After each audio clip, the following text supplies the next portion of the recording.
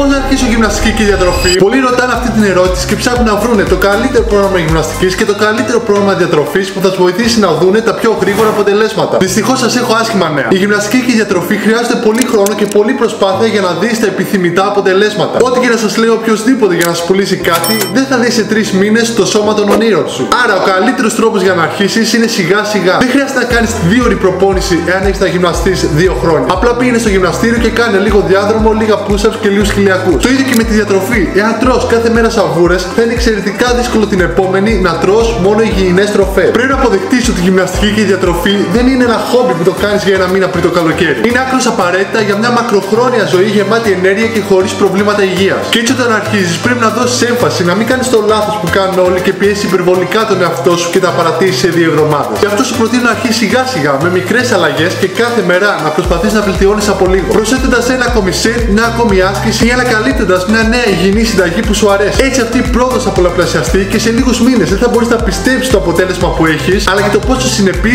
είσαι στο στόχος σου.